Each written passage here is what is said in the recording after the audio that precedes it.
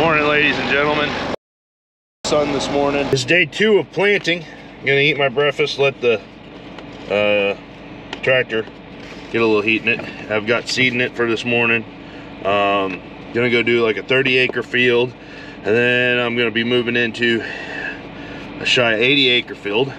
And Kolton from Koch Agronomic Services is going to be showing up when we get to that field. Uh, we are putting in one of the first trials for Protivate this year there.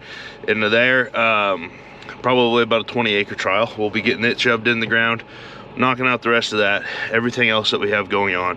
Weather looks like it might be turning in our favor, knock on wood. And then we'll probably move into uh, a 90 acre field. It'd be a huge day if we get 200 acres in. Um, that'd put us close to 300 acres of beans in the ground and uh, kind of keep chugging along here. See how many beans we can get in the ground, get them growing. That's the plan. I'm gonna eat an egg and a microwavable sausage link. I'll let that thing warm up. Yes, you, you don't want to watch that for a little while, dude. No, no, fine. I'll eat breakfast by myself. Nothing quite like the first pass of the day, staring straight into the sun, having a staring contest. Road number six is having problems. Wake up. I probably need to go uh, take the tube off real quick.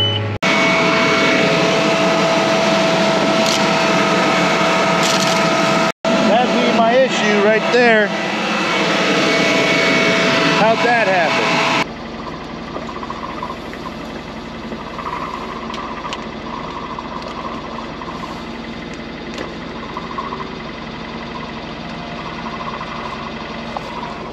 Nothing like a little tile tape solution. Go on, get in the tractor. We got a steering contest to win. Let's go. Go. I ain't picking you up. The old tile tape is uh, working good. Went nice. So obviously that's not a, a full-time fix, but it did slow me down enough that I think I'm probably gonna have to. Uh, this one's like 30 acres, but it's split up in between two patches. So I'm probably gonna polish this patch off and then uh, fold up and head to that 80 acre field to try and start putting the end rows in. That way uh, we can put that trial in when Kolton shows up. Does that sound like a plan, Blue Dog? Huh? Is that a plan? Ready to go see Clevis today? Show him how to dog. Show him how to be a. Show him how to be a. Yeah. That 20's done. Back around the corner here to uh, go start on an 80.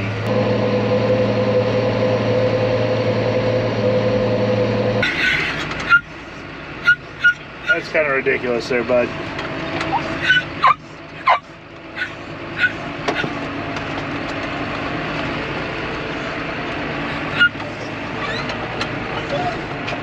I got the end rows done on this field and we're ready to start the trial.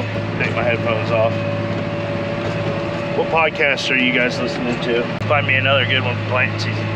Anyways, said that he was about five minutes behind. That means he'll be here in about 10 minutes, which is good because I'm probably 20 minutes behind.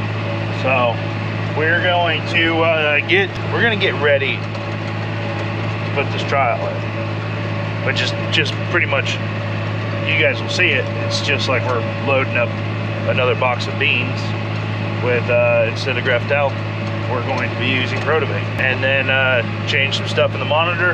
Actually I could do that right now. Let's do product. Do this soybeans. These are acre goals three O-T-I-V-A-T-E.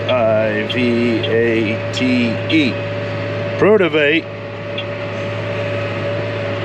Advanced seed tube monitoring. Bango. Now, we just switched to hybrid. We got that in there. Because some of you might not know how I do these. Like corn, I can control both sides of the planter, to label on two different products. 12 rows at a time, that's go for. when I do soybean trials, um, you just change the hybrid and then you kind of have to plant like an area.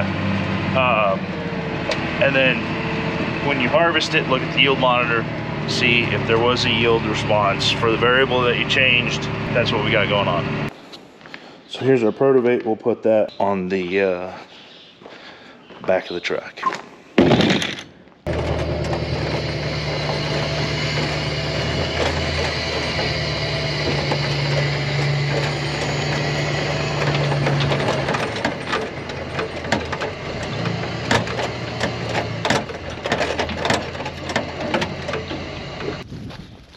What's up, killer? Not trip over Baleford. Taking piss? So since we got a hot second, we're gonna break down uh, a couple boxes. I'm talking to the GoPro.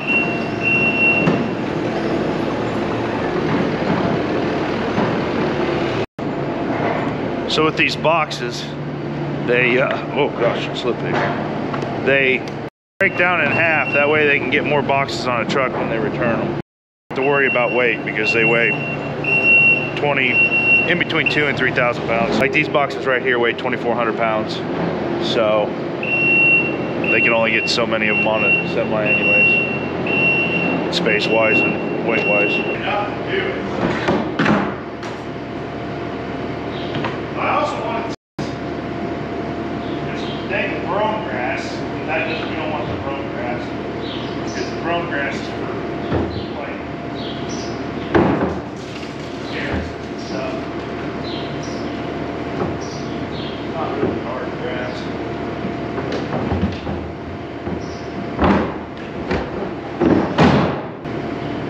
There it is.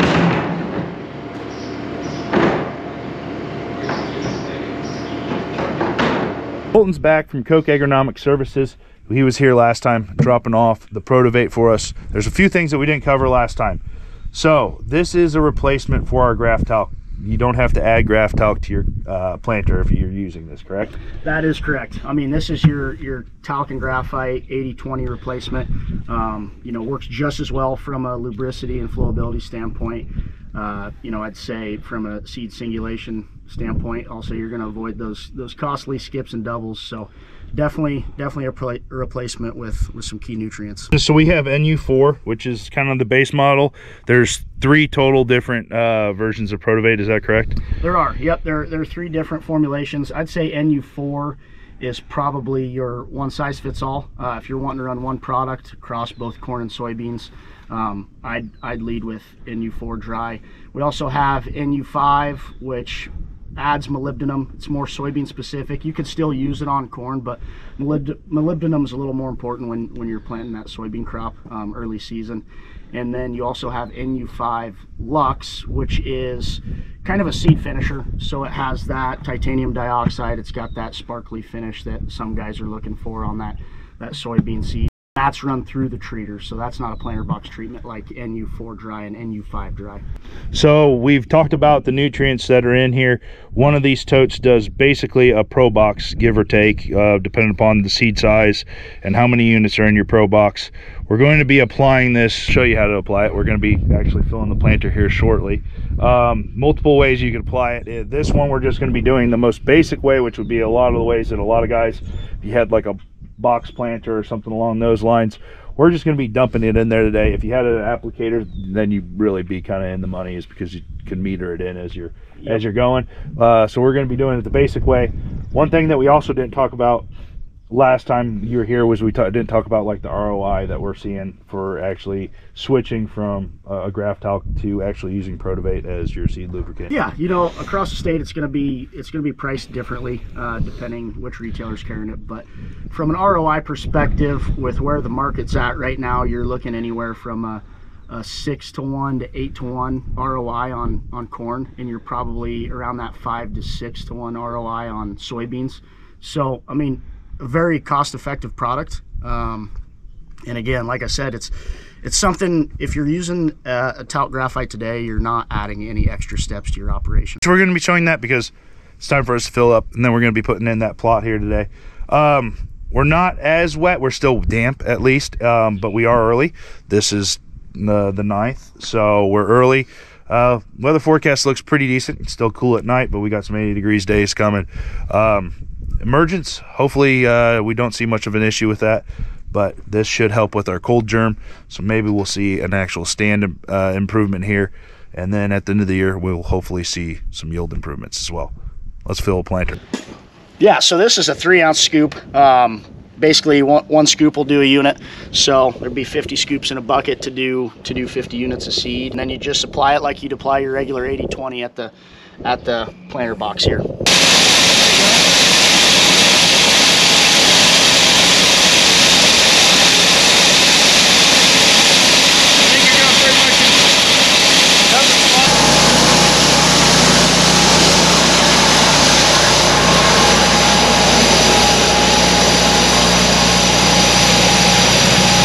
So we've gotten a few passes in here. We've just been chatting.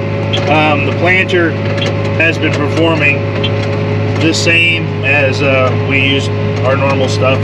In populations holding good. Singulation on soybeans is always where it's going to be, especially using the brush meters. Seeing no performance difference between Protivate and regular Graft Talc. It's performing just as good or better.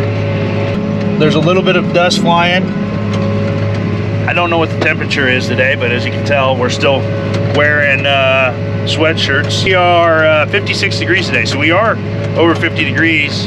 But I think we touched on uh, last time about the cold germ. We're getting like 6% better cold germ. Is that on corn or is that on soybeans? 6% on corn, 8.75% on 8.75% on beans? Holy smokes. Yep. So that should correlate into some uh, some yield benefit in that way.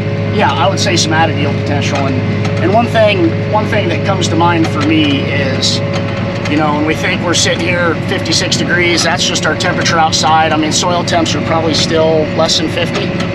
Um, and you know, we got we got a couple inches of rain last week, so we, we have some moisture in the soil.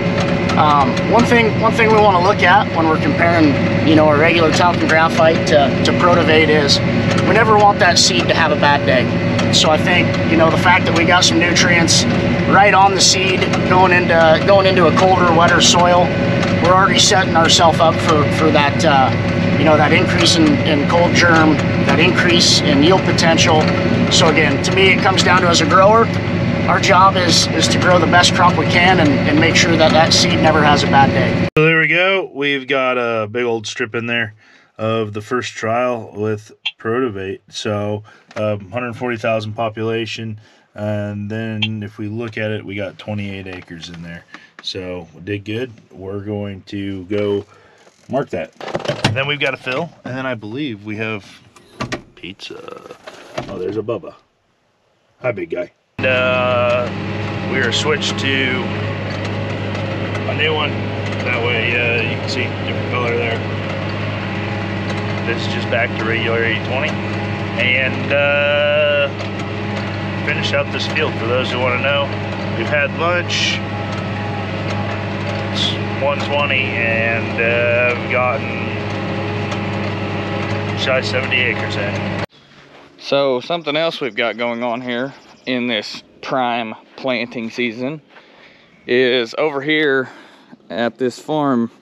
There was two hog barns here. There was a hog barn running obviously this way and there was another one over there running alongside those bins where that dirt spot's at over there.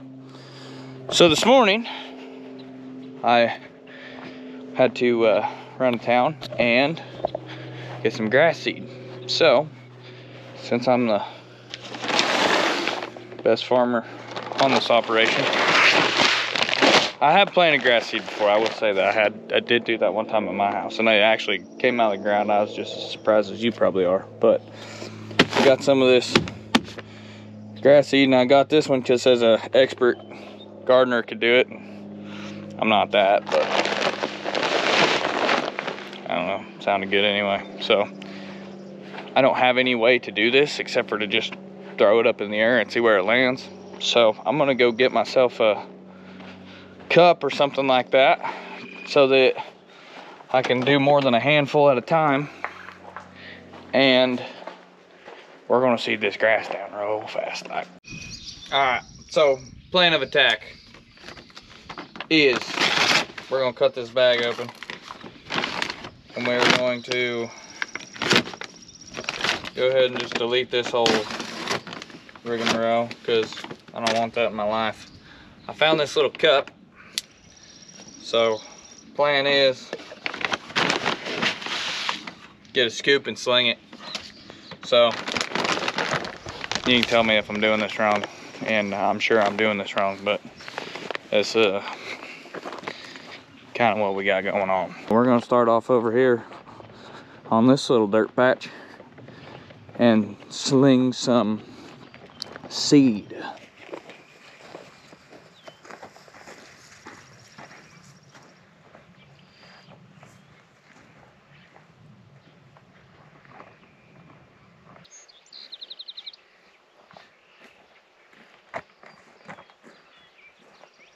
Okay, so fun fact, that's a horrible idea.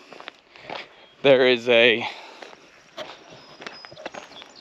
seed slinger, whatever you call that thing, a uh, little seeder that I know I used it at the pumpkin patch and I believe it's at Wayne's and I'm fixing to be at Wayne's. That's, that's all it takes to be a farmer, that right there. So we just finished that. Colt's gonna go skid steer whack some uh, honeysuckle that I missed that when the last time I was doing it. Um, there's, oh that was weird. There's your trial. That's how we do that. That feels done. Check mark. Gonna put some fuel in this. That way, if uh, I do end up running late tonight, I've got plenty of fuel, and uh, we're gonna move to like a 12 acre field. We're at 100 acres on the day. So we're on our last fill up of the night. There goes two dogs. Inherited a fluffy dog. This is the advantage to having a bulk fill bean planter now, is that I should have enough on to uh, make it the rest of the night. And go uh, go home, go ride horses or something. So, one last go. Thought one of these is a partial box. Is this one a partial box? I think that would be a partial box. Can't remember. I bet it's this one. That has to be because I know that I put one on the back. No, And I want to trip this one, so before I trip that far one, so this one's partial. I think that's a partial. I think these two are full. I think so. I think that's about right. I think that's right. I think.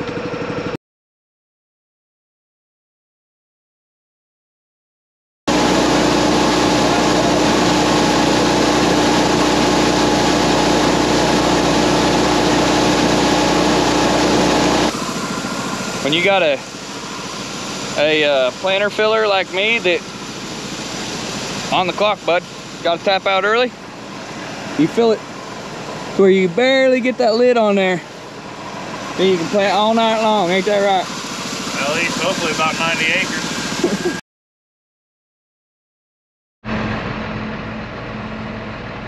well, it's 1037. I ran out of seed. Didn't get it all the way done. I probably got like three acres left. So, Molly brought me some homemade pizza. We've gotten folded up. I'm headed back to the shed. I'll see you guys in the next video in uh, probably about 6.30 or so, so a little less than eight hours. Thanks for hanging out.